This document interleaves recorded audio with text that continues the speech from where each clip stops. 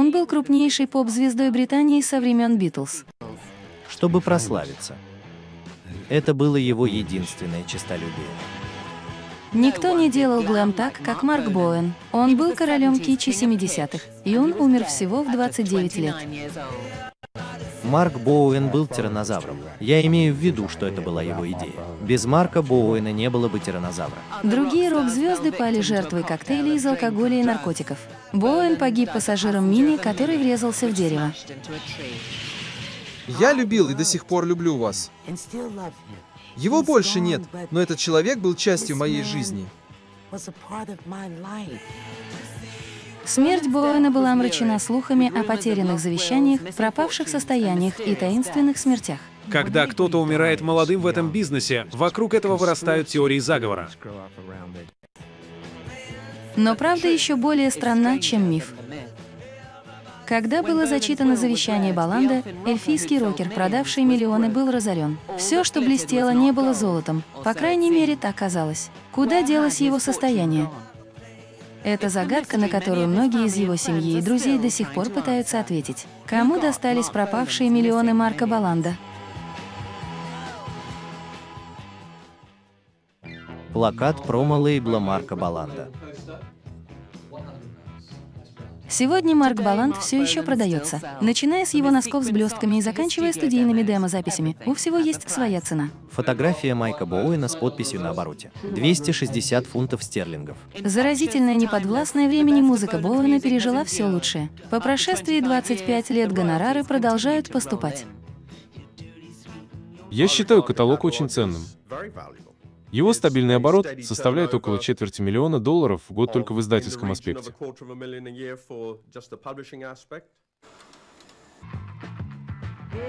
Будучи подростком, Балан хвастался, что станет самой большой рок-звездой в мире. К 1977 году Балан был ветераном суперзвездой. С новым телесериалом в запасе «Маленьким сыном» у него было все, за что можно было играть. Оставьте маленькую отметку в своем сердце и смотрите одно и то же время, один и тот же канал. Последняя ночь Марка Баланда была счастливой. Его телешоу имело успех, а его партнерша Глория Джонс только что вернулась из Америки.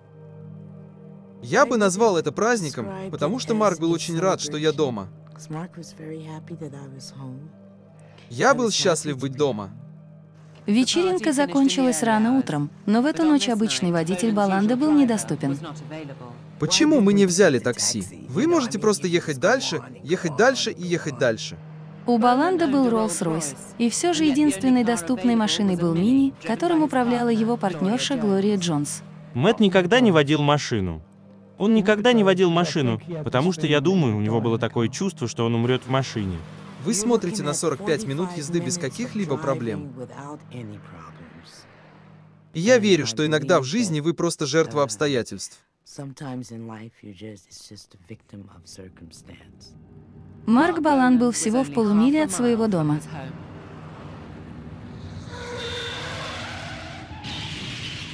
Баланд погиб на пассажирском сиденье фиолетового мини, когда он врезался в дерево на узкой дороге сегодня утром без двух минут пять. Его подруга, сидевшая за рулем, Глория Джонс, получила перелом челюсти. Он оставляет рядом с ней 20-месячного сына Роланда. Ему оставалось всего несколько недель до своего 30-летия.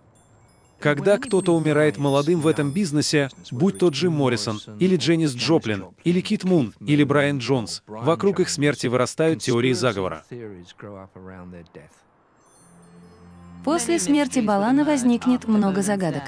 Самой убедительной была причина самой катастрофы. Машина должна была стоять примерно под прямым углом к этому дереву. Она врезалась в дерево примерно здесь, буквально отброшенная прямо через дорогу под прямым углом. При ударе дерево врезалось в машину примерно вот сюда.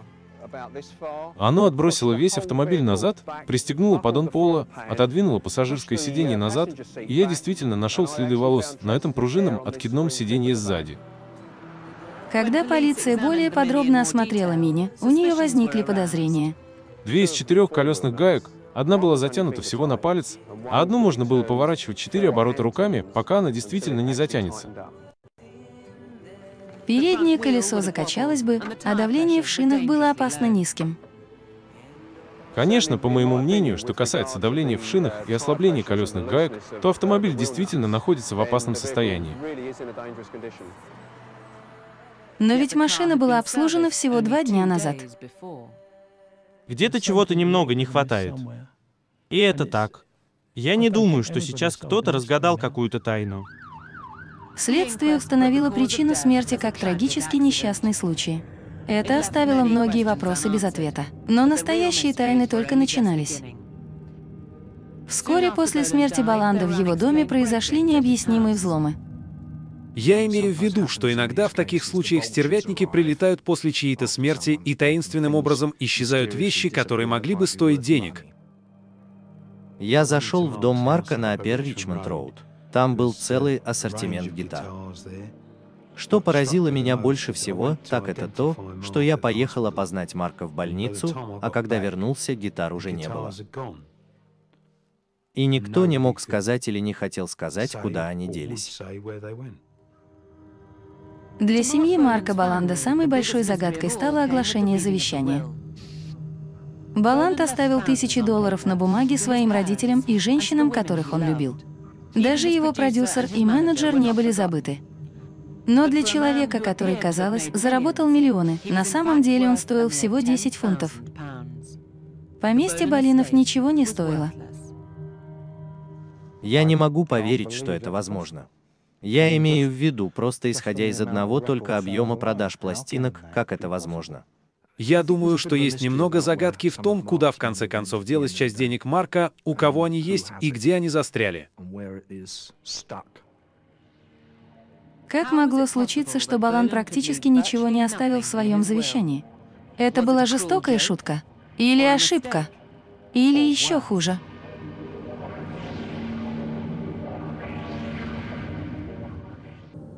Семья Марка Баланда была в шоке.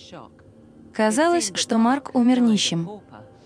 Неужели он действительно стоил всего 10 фунтов? Как это могло быть? Я думаю, что все это было на бумаге. Я не думаю, что это было так вообще. Потому что его деньги были за пределами страны. Для его семьи теперь начались долгие поиски, чтобы выяснить, сколько денег исчезло, куда они делись и кому это попало в руки. Никто из моей семьи ничего от этого не получил. Так что он просто бездействует. То, что мы привыкли называть Бермудским треугольником. Все это пропало. Оно все еще там, но вы не можете до него добраться. Глория Джонс покинула Британию тяжело раненой, с разбитым сердцем и без гроша в кармане. Она годами боролась за то, чтобы воспитать их сына в Америке. Я дал Роланду все, что мог.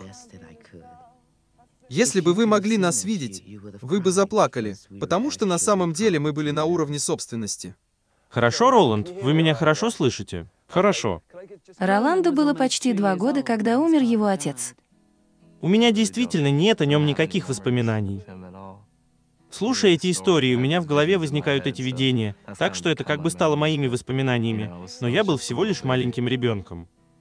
Вот уже шесть лет сын Баланды пытается найти ответы на вопрос, почему он не может претендовать на свое первородство. Я не думаю, что дело в том, что вы мне должны. Это просто принцип, что я его сын. Вы знаете, это просто справедливо. Вот и все. Все в порядке, мамочка. О, вы поете. О, вы такой замечательный. Куда уходят все деньги? Это то, что мы пытаемся выяснить. У вас здесь очень щекотливая ситуация. У вас есть некоторые вопросы, которые необходимо прояснить. Я танцевала, когда мне было 12. У Марка Гланда не всегда были деньги.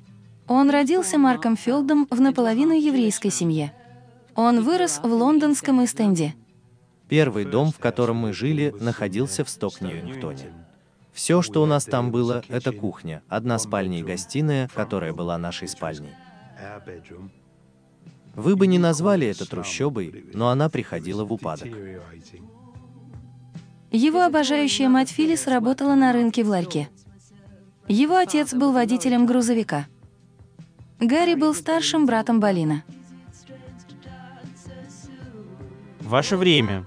Я жила в пещере. Мама и папа подарили ему его первую гитару, когда ему было 11. Марк Филд страдал дислексией, но это его не остановило.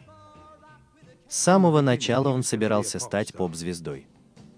В 17 лет Марк Филд стал Марком Баланом со своим первым контрактом на запись. Родился музыкальный волшебник. Быть поп-звездой – это прекрасно. Он этого не делал, на самом деле ему было все равно, певец он, поп-звезда или модель, но он хотел быть знаменитым. Бегите по небу. Космический – это для вас и не для кого другого. Когда я впервые увидел его, он звучал как сочетание Мади Утерса и ягненка Ларри. Этот блеющий, дрожащий голос, который кто-то однажды описал как звучащий, как у старика. Так оно и было на самом деле. Это был очень ранимый и хрупкий голос. Я встретила женщину. Балан наконец-то встретил женщину, которая могла бы сочетать его бизнес с удовольствием. Она была Джун Чайлд. Джун работала в Пинк Флойд, и я думаю, что Марк вроде как немного влюбился в нее, а потом они начали встречаться.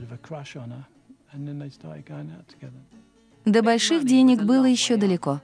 Они едва могли наскрести две арендные платы в неделю за свою мансарду в самом сердце богемного Лондона. У них никогда не было денег как таковых, потому что они уходили на пас и тому подобное, а также на небольшое оборудование, которое он мог себе позволить в то время. Марку было всего 22 года, а Джун на 4 года старше, когда они поженились в январе 1970 года. Они были партнерами в любви и бизнесе. Но это был бизнес, который в конце концов разлучил бы их с Джун.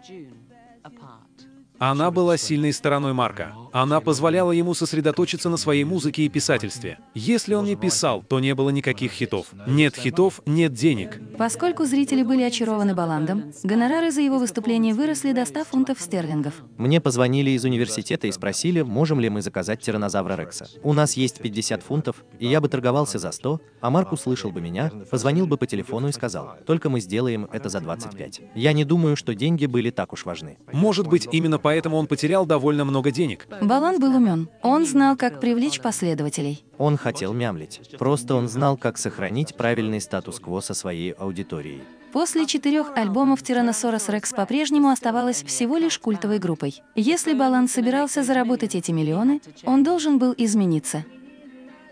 Он снова искал что-то другое и обратился к тиранозавру с Микки Фином. И это было гораздо больше похоже на настоящего Марка Боуна. И тогда у вас получились большие хиты. Как это называется, чувак? Прокатитесь на белом лебеде. Назовите его «Белый лебедь». «Белый лебедь» возьмите один, сверните его.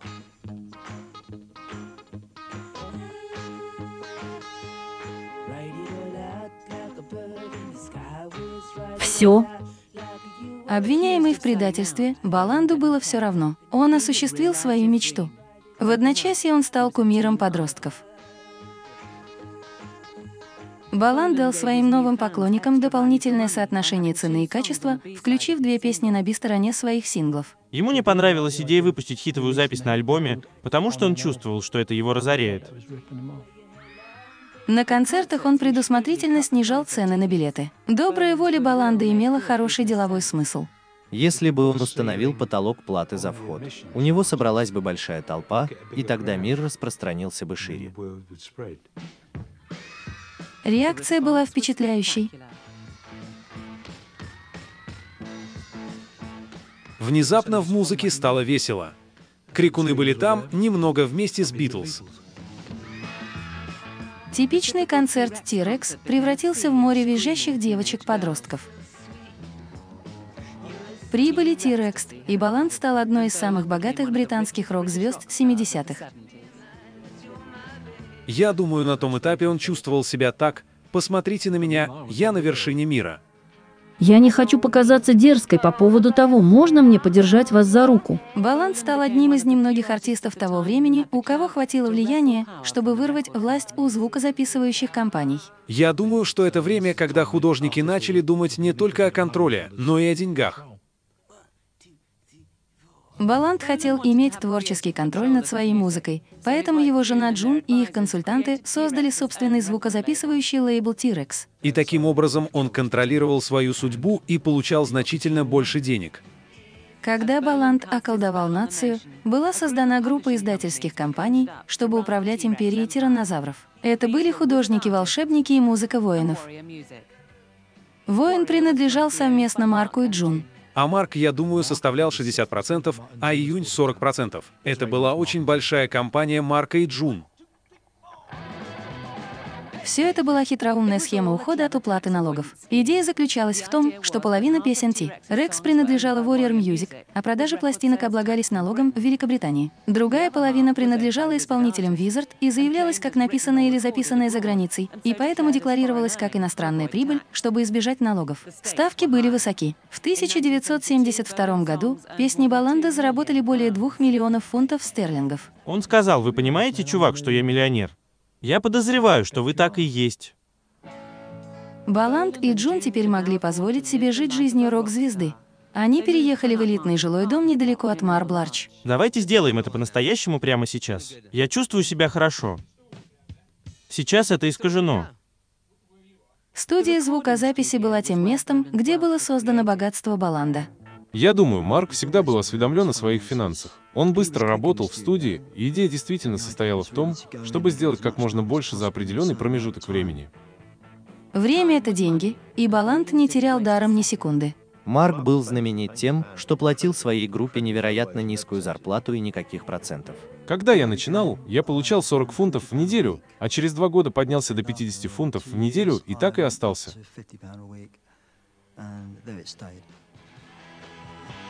В то время Баланд хвастался, что зарабатывает 40 фунтов в год на своих гонорарах. Все мое тело говорит, что я прямо как Робин Гуд. Все, что я знал, это то, что это была группа Марка, и я играл для него на барабанах, и я просто продолжал в том же духе. Нет смысла затаивать обиду. Тирекс был на пике своего развития, но власть и успех теперь шли в голову Баланду. Все художники эгоистичны, но я имею в виду, я думаю, что он таким и был. Иногда он получал за это Нобелевскую премию. Балан и его менеджеры даже урезали гонорары своему продюсеру Тони Висконти. Человеку, который помог сделать Балана звездой, урезали зарплату. Это его очень расстроило. Его вклад в игру был воспринят негативно. Внезапно Марк как бы насрал на своих друзей. Она и она живет на побережье. Следующей жертвой будет брак Марка и Джун. Во время тусклого турне по США увлечение Боулина Бек вокалисткой перешло черту. Теперь все было бы под угрозой. Потом я узнал, кто такой Марк Боулинг. Там только одна звезда. Я думаю, именно поэтому я ему нравился, потому что я никогда не хотел быть звездой. Я просто хотел быть его компаньоном.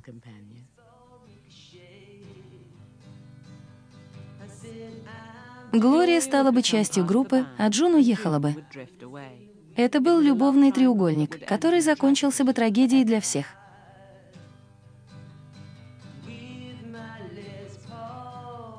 Я знаю, что я маленькая, но мне все равно нравится жить.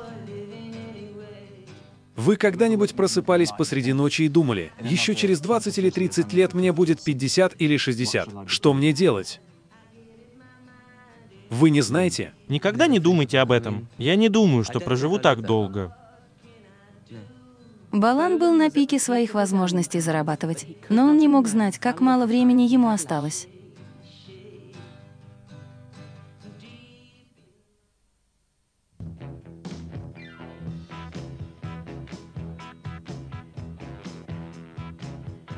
Наследство Баланда в размере 10 тысяч фунтов стерлингов не складывалось. В завещании подразумевалось, что у Баланда была слава, но не было состояния. Факты подразумевали, что он был богат. Так где же это было и сколько?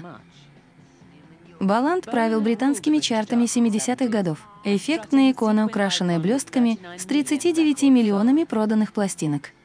Слава равна деньгам.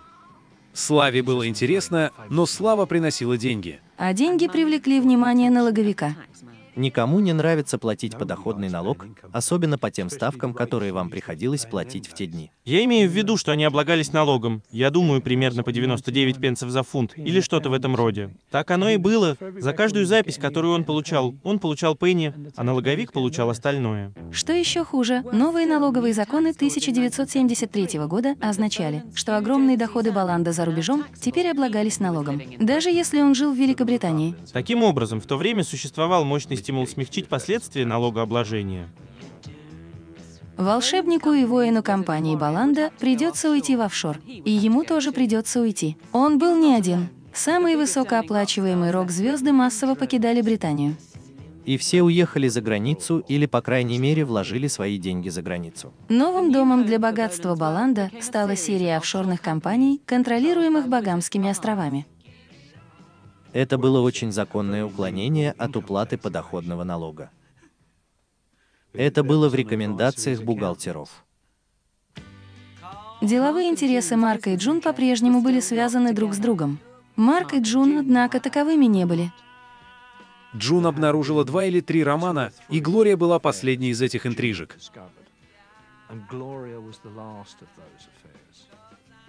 И это стало последней каплей. Джун столкнулась с Баланом в чикагском отеле. Джун сказала Марку, что либо она, либо я. Решайтесь, черт возьми. Мы все были в лимузине, и он отвез ее в аэропорт. Шесть дней спустя во Флориде Марк принял решение. Он сказал, «Я люблю вас, Глоу». Я знал, что люблю его. Я думаю, что именно Джун действительно сделала перерыв и сказала, что с меня хватит. И я думаю, что это повредило ему эмоционально. Новое руководство Баланда быстро предприняло меры, чтобы защитить бизнес от дорогостоящих последствий надвигающегося развода. Марк Балан со своими советниками решили, что Джун следует исключить из всего. Джун потеряла свою долю в Warrior Music, бизнесе, которым она владела вместе с Марком. Активы компании были отправлены за границу, и она не получила ни пенни. Она была выпотрошена. Она чувствовала себя преданной. Она чувствовала, что вся работа, которую она вложила в этот бизнес, пошла прахом. Чтобы еще больше скрыть свои деньги от Джун, Балан передал контроль и право собственности на свои деньги иностранным трастам, управляемым банкирами и юристами. Когда кто-то учреждает иностранный траст, довольно часто этот траст создается таким образом. Что это означает, что он не находится под контролем человека, который генерирует доход, поступающий в траст. Создание этих трастов лишило налоговика Баланда миллионов. Оно также лишило Джун доступа. Но оно фатально вырвало контроль над его деньгами из его собственных рук. Я думаю, что Джун очень разозлилась на профессиональных консультантов Марка, но в то же время ей было горько от того, что Марк так плохо с ней обошелся. Расставание с женой похоже на прекращение партнерских отношений, и если бы жена была партнером в бизнесе, то вы бы тоже хотели разорвать эти отношения. Боюсь, это также холодно и расчетливо. 17 октября Джун навсегда покинула свою роскошную квартиру и образ жизни суперзвезды. Марк очень хотел, чтобы как только вы ушли, вы ушли, вы были вчерашним человеком. И какое-то время Джун была вчерашним человеком. Всего через два дня после отъезда Джун Марк Балант составил завещание. Две женщины в его жизни были названы по именам. Джун — его жена и Глория, женщина, ради которой он ее бросил, его секретарша. Мы вошли, и он сказал своей маме, «Это моя секретарша Глория». Она сказала, «Я знал, что вы не секретарша». Марк Балант стал налоговым изгнанником, и какое-то время он наслаждался плодами своего успеха. Однажды, когда он получил заявление о роялти, что заработал много денег, он позвонил в банк и сказал, «Я хочу видеть на столе 50 тысяч фунтов».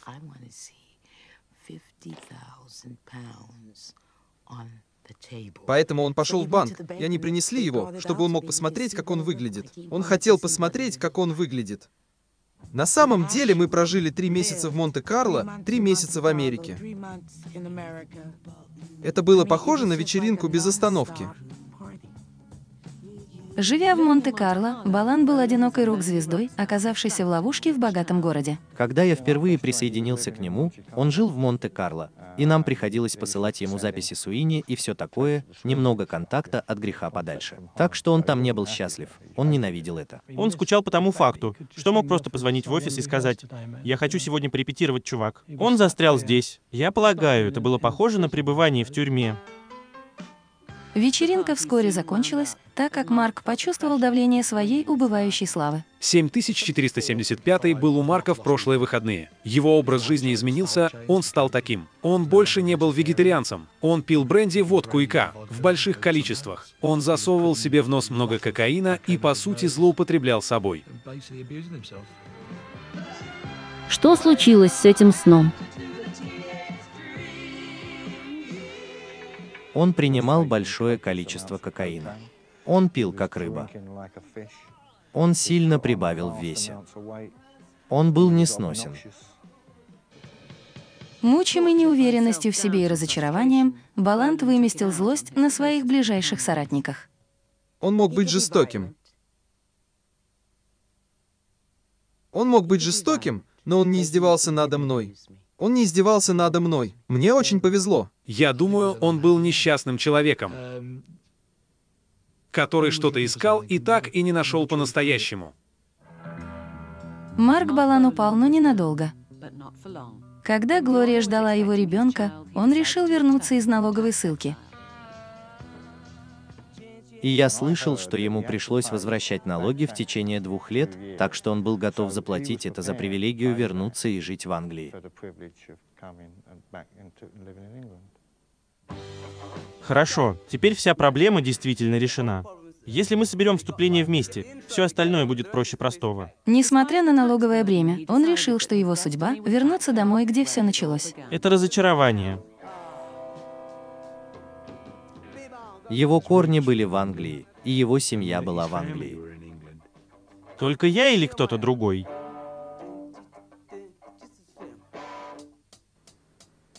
Балин отправился в сдержанное турне по Британии. Он боялся, что потерял своих последователей, но все было совсем наоборот. Шоу было распродано с аншлагом. Два месяца спустя родился Роланд Балин.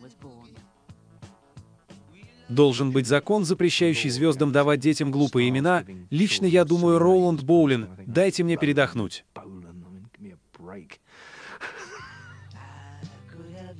Это дало ему чувство ответственности, личной ответственности. Он был счастлив тогда. Он был удовлетворен.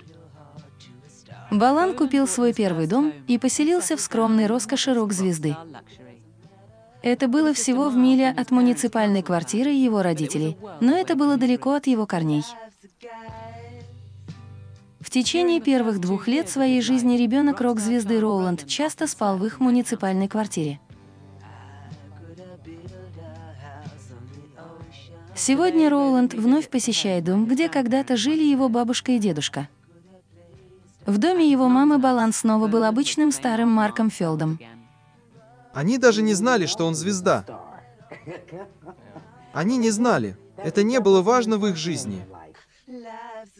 Он уже не был той звездой, какой был раньше. Но он также не был тем бизнесменом, за которого себя выдавал. Как у вас идут дела, как у бизнесмена? Вы очень трудолюбивы. А, бизнесмен, я все еще маленький ребенок. Я не знаю. Я просто делаю то, что хочу, и надеюсь, что у меня получится. Это лучший способ, который я могу. Я тоже много жульничаю. Вы же знаете. Я не думаю, что Марк когда-либо контролировал свои деловые дела. Я не думаю, что он узнал бы бухгалтерскую книгу, если бы увидел ее. Вернувшись в Британию, Балин испытал холодное осознание того, что у его бизнеса заканчиваются наличные деньги. Грозовые тучи сгущались. Я получал сообщение от волшебника, в котором говорилось «Сидите на деньгах, не отдавайте ему все деньги за один раз». Нормирование. У меня просто такое ощущение, что что-то не так, что карты начинают падать.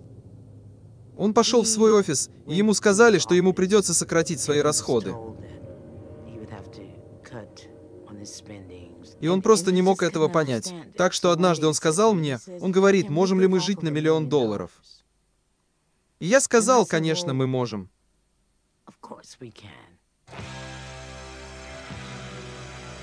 Сотни тысяч фунтов стерлингов ушли коту под хвост в результате рискованных инвестиций, а налоговый инспектор стучал в дверь. Что касается него, то ему было 80 лет, у него были долги, которые он собирался погасить из автоматических роялти и все прояснить с налоговиком. Но я думаю, как и многие люди, он просто доверил другим людям позаботиться об этом за него, и знаете ли, думал, что они так и поступят. Но оказалось, что они, скорее всего, этого не сделали. С ростом долгов Балант принял меры. В марте 1977 года он уволил свою юридическую команду и нанял нового бухгалтера и юриста. Имея на руках брак с Глорией маленького сына, которого нужно было воспитывать, Балан только начинал приводить свою жизнь в порядок. Но в конце того лета случилась трагедия.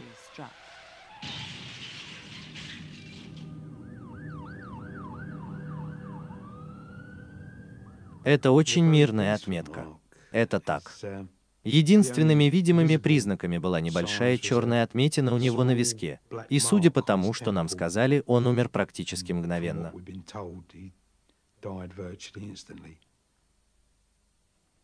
Я чувствовал, что потерял своего лучшего друга.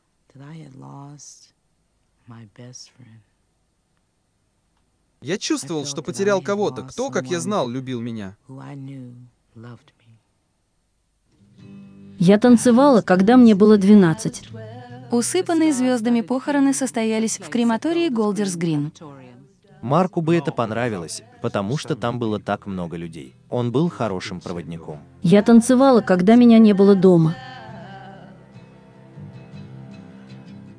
Я танцевала, когда меня не было дома. Это займет не больше минуты. О, на самом деле это была настоящая денежная мука. Там были стойки, и там было много людей. Так что я всегда помню, как думал. Хотел бы я, чтобы он был побольше. Я хотел бы, чтобы он был более ярким. Я хотел бы, чтобы он больше походил на Голливуд. Главной аранжировкой был огромный белый лебедь. Это было от руководства того дня. И я подумал про себя. Да, и вы заплатили за это тоже, Марк. Бизнес T-Rex прекратил свое существование практически в одночасье. Получил телеграмму в офис, в которой говорится, «Дорогой Микки, вы воплощение силы для Марка. Мы больше не нуждаемся в ваших услугах, но я уверен, что в завещании будет кое-что для вас. Я уверен, Марк позаботился бы о вас». И это все. С того момента я больше ничего не слышал о бизнесе. Написанное в 1973 году завещание почти ничего не стоило. В нем содержался длинный список завещаний, и не было денег, чтобы их выплатить. Мои мама и папа, конечно, а также Глория и Джун. В нем участвуют самые разные люди, за исключением меня, на которого я нисколько не обижаюсь, потому что в то время у нас было взаимопонимание.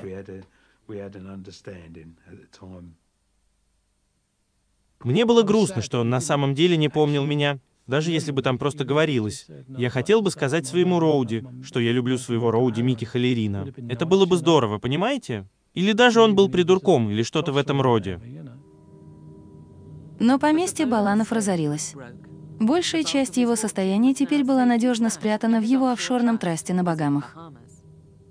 Хаос, в котором Балан оставил свою семью, теперь был слишком очевиден. Глория была упомянута в завещании, но их сын Роуланд нет. Что еще хуже, Балан умер всего за несколько недель до окончательного развода в июне. Он находился между декретом Неси и декретом Абсолюта, так что он все еще был женат на Джун. Трагическое время смерти Марка Баланда вызвало бы годы душевной боли и загадочности. Существовало ли вторые завещания? И если да, то может ли в нем содержаться ключ к разгадке пропавших миллионов Баланда?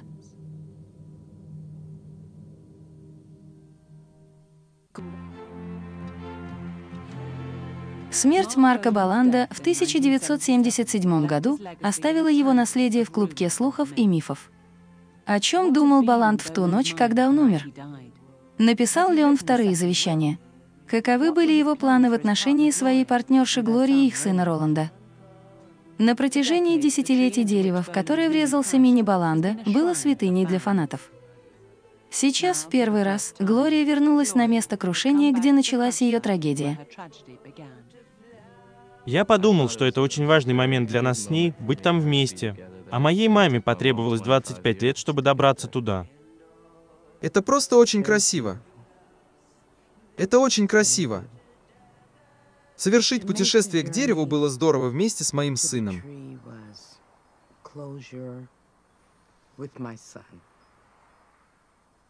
Я любил его и до сих пор люблю. Его больше нет, но этот человек был частью моей жизни. Отец моего ребенка. Я знаю, как ей тяжело. И именно поэтому я был там, чтобы поддержать ее. Глория серьезно пострадала в результате аварии.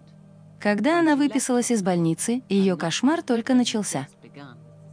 Поскольку Глория не была замужем за Баланом, у нее не было ни юридического статуса, ни дохода, ни дома. Мы, семья, потеряли все. Мы не имели права ни на что. Фотографии, записи, ничего. Нам даже не разрешили войти в дом. Я думаю, что положение Глории совершенно трагично для нее, для ее ребенка, который потерял отца. Мне было больно, потому что меня выгнали. Но не столько за себя, сколько за нашего сына Роланда. Прямо наверху.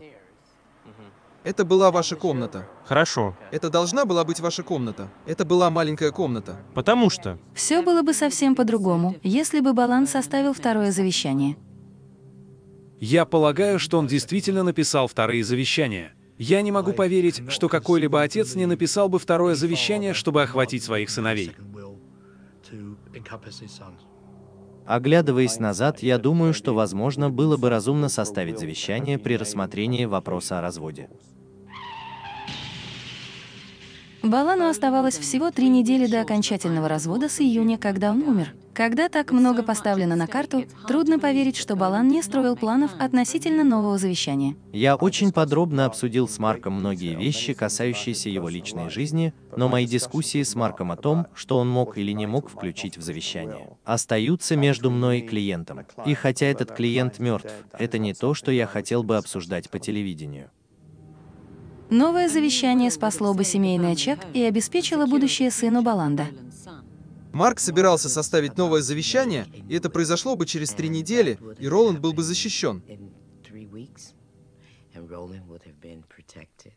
Именно по этой причине в январе мы планировали нашу свадьбу.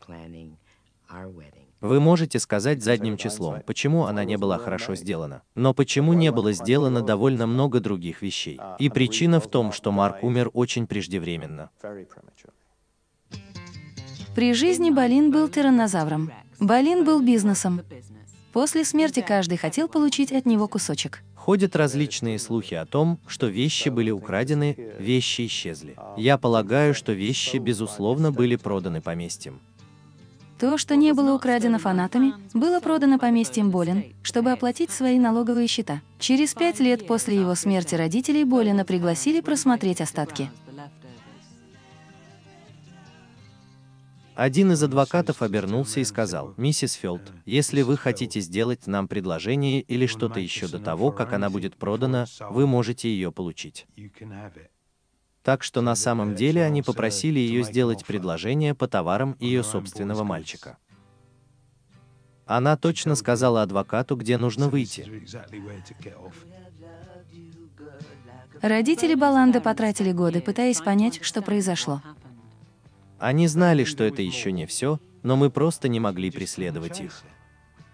У нас не было ни образования, ни денег, чтобы понять это. Родители Баланда умерли, так ничего и не узнав в 1991 году. Теперь они лгут вместе со своим сыном. Его брат Гарри ничего не получил по завещанию Баланда, но он вернул кое-что, украденное фанатами. Это шляпа, которую Марк носил в фильме «Рожденный для буги». Снаружи на ней изображена Алиса в «Стране чудес». Вот пара туфель, которые он носил на сцене. Посмотрите, у них высокие каблуки, потому что он был довольно маленького роста. Акустическая гитара. Она почти настроена с того дня, как Марк настроил ее, а это было 25 лет назад.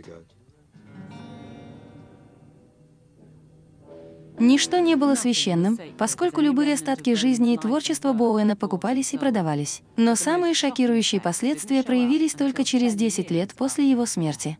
Мне позвонили и спросили, знаю ли я, что гробовщик, который занимался телом Марка, пытался продать одежду, в которой на самом деле был убит Марк, на благотворительность.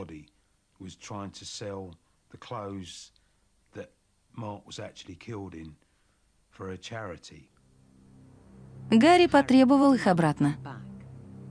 Никто не продает окровавленную одежду. Я просто хотел, чтобы ее окончательно закрыли, если только я просто не сожгу ее и не закопаю у себя на заднем дворе.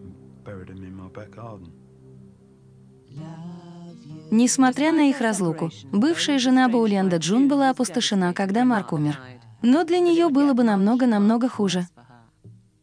В качестве акта благотворительности офшорный траст Бауленда отправил вдове Джун чек. Когда она обналичила его, налоговый инспектор установил связь между Джун и офшорными компаниями Боуленда.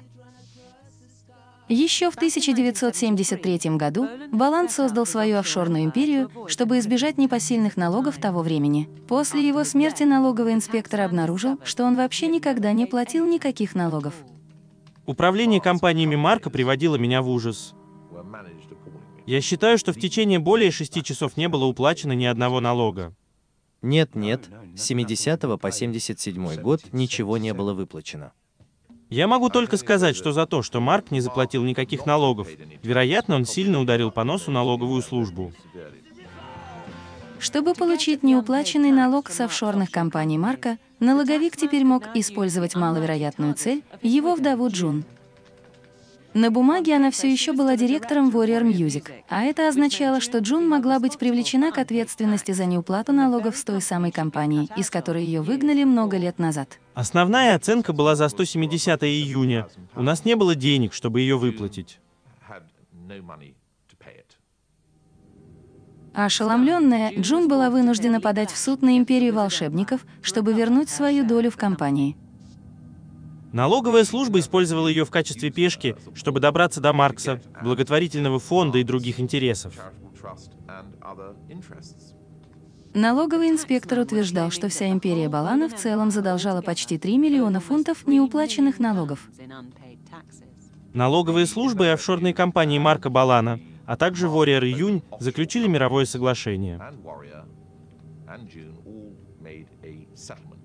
Сделка была заключена. Через шесть лет после смерти Балана налоговый инспектор, по крайней мере, получил большую долю пропавших миллионов Балана. Они использовали бы июнь, чтобы получить их. И они были очень-очень безжалостны по этому поводу. Они имеют на это право, но это воняло. Прошло 10 лет, прежде чем сама Джун получила компенсацию от Империи волшебников. И через несколько недель после заключения соглашения она умерла от сердечного приступа во время отпуска в Турции. Она была лишена того, что чувствовала, и я думаю, что большинство людей считают это ее законным наследством.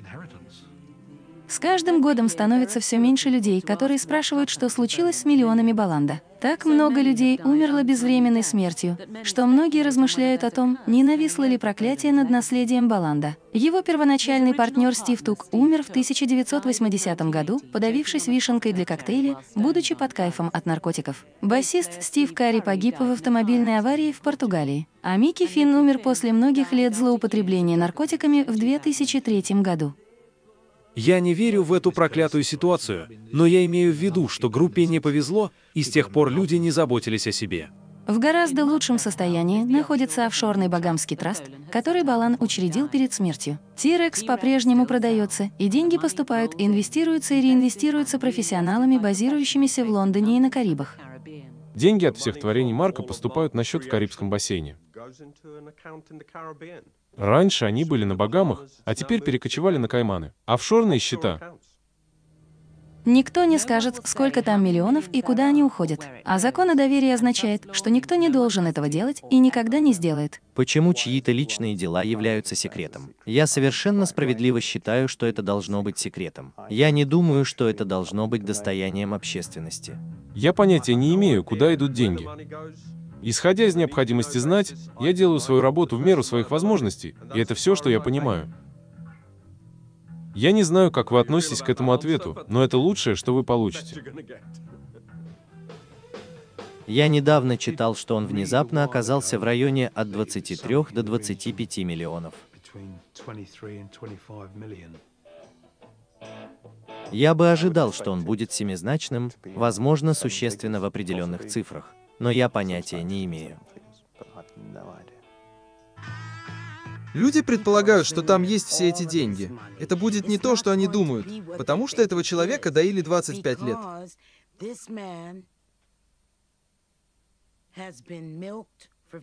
Лет. Вы не можете ожидать, что адвокаты будут работать бесплатно. Вы не можете ожидать, что бухгалтеры будут работать бесплатно. И вы никогда не ожидаете, что банкиры будут работать бесплатно. Деньги Баланда, конечно же, не идут его группе. Билл Лёджент, единственный оставшийся в живых из оригинального тиранозавра, никогда не получал чека на авторские гонорары. Сейчас он играет на барабанах в своей местной церкви. Клавишник тиранозавра Дина Дайнс ничего не получает. Теперь он преподает и выступает с трибьют-группой Тир Экстаси. Мико Халлоран, верный Роуди Балана в течение 9 лет, сам чуть не умер в 1977 году и с тех пор не работал. Он не получил ни пенни из пропавших миллионов Балана. Балан назвал список бенефициаров Багамского траста. Некоторые получают выгоду, некоторые нет. Ни один из получателей не внесен в публичный отчет. Если бы попечители делали это, то, как правило, они бы побывали рядом с бенефициарами и сформировали мнение относительно того, должны ли они получать выгоду. И некоторые из них, возможно, получили больше пользы, чем другие, а некоторые меньше, чем другие. Одно можно сказать наверняка. Кроме скромного траста на образование сына, ни один член семьи Балана вообще ничего не получил от Багамских островов. Рад вас видеть. Хорошо выглядите. Когда Марк скончался, у него были разные люди, принимавшие решения. Я думаю, они упустили из виду тот факт, что он действительно оставил семью. Простой факт заключается в том, что он сын Марка, и он должен извлечь из этого пользу. Он наследник Марка Балина. Он единственный ребенок. Балин назвал своего отпрыска бенефициаром своего багамского траста. Но его безвременная смерть внесла бы еще один жестокий поворот. Насколько мне известно, по багамским законам дети, рожденные вне брака, не имеют юридического статуса.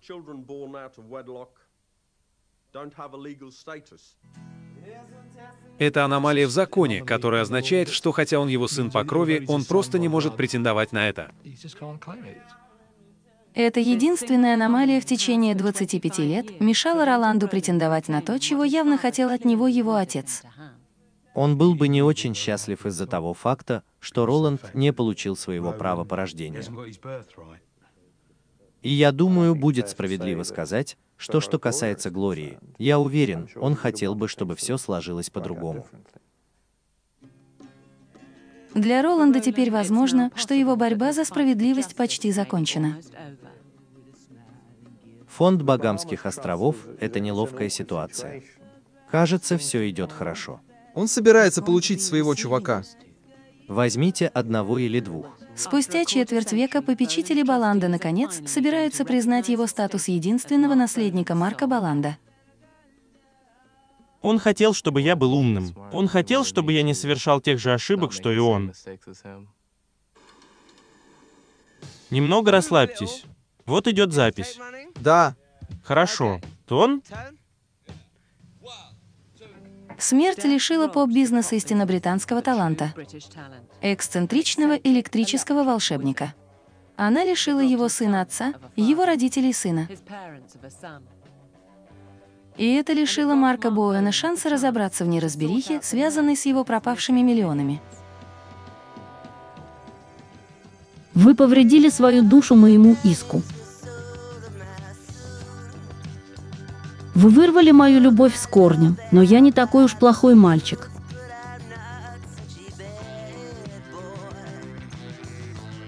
А нет,